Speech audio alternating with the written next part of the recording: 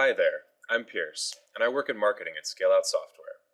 Today, I'm going to show you a demo we recently put together to compare Scaleout H Server, our in-memory execution engine for Hadoop MapReduce, with standard Hadoop MapReduce. The demo is a hedge fund strategies management application spec'd by one of our customers. The goal is to alert a trader or automated trading desk in real time when a set of equity positions goes outside of its business rules. As you can see, on the left, we have a set of 2,000 strategies. Each strategy holds 20 equities, as displayed here, for a total of 40,000 positions. These positions are being updated by a simulated market data stream, and you can see the changing prices displayed here.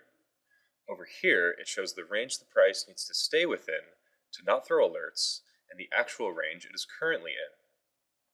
The green bar above shows the progress of each analysis pass of the entire set of 2,000 strategies, and this number displays the total amount of analyses completed. Of course, we've got Scaleout H Server up top here and Apache Hadoop on the bottom. Alright, with no further ado, let's see this in full screen. Over here, we've got the H Server command line window. This one is showing the time taken for H Server to complete an invoke full analysis of the data.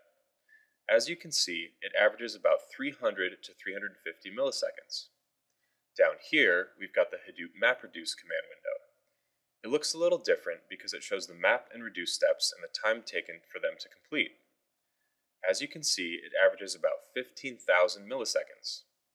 Now, with the demo running, you can see that, on average, it takes HServer about a third of a second to complete a pass of all 40,000 equity positions, while it takes Hadoop about 15 seconds.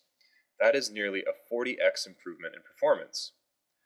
We recognize that Hadoop wasn't architected for this usage pattern.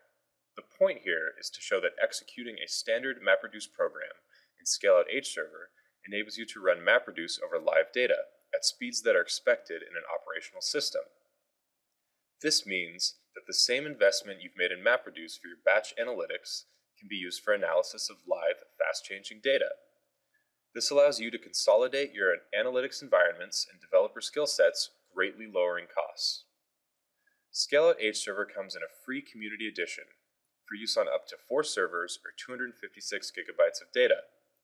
To learn more about H Server, check out our white paper or download H Server, visit our website at scaleoutsoftware.com slash hserver.